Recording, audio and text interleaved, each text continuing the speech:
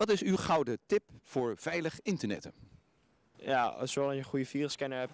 eh, en niet overal je e-mailadres eh, voor opgeven. Of anders een spam e-mailadres, speciaal e-mailadres ervoor. Ja, moet, iedereen moet opletten altijd, weet je, aan eh, wat ze doet, aan wat ze zegt, aan wat ze schrijven. Moet goed opletten en eh, moet beveiligen van, van alle geheime dingen, weet je.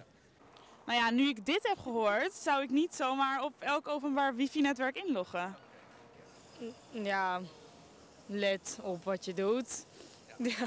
Nou, ik denk dat je altijd bewust moet zijn van ehm, de boodschap die je geeft, aan wie dan ook. Eh, en die mag niet in, in, eh, ergens terechtkomen waar je dat niet wil. Eh, dat is eigenlijk het belangrijkste. Dus, dus doe geen dingen waarvan je later spijt krijgt eh, op internet. Zet geen foto's waar je later spijt van krijgt. Of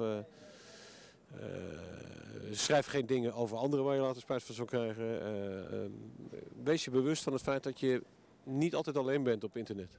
Iedere site die je bezoekt of iedere app die, die je opent, dat je daar bewust mee omgaat van hé, hey, wat, wat gebeurt er als ik hier nu weer hè, in ga zoeken of iets mee ga doen. Ja, heel bewust mee Ja. omgaan dus. Well, what is your final advice to the people at home if they want to do secure internet?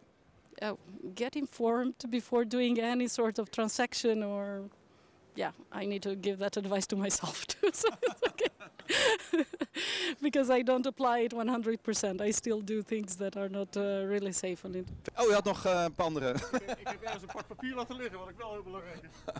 Oké. Ja, offline veiligheid is ook belangrijk natuurlijk. Goed, tot zover de meningen hier op de Grote Markt. Eh, mensen hebben best wel veel verteld over veilig internet, en hoe ze het doen, heel divers. En het allermooiste van alles is, het heeft ons helemaal niets gekost. Dank u wel.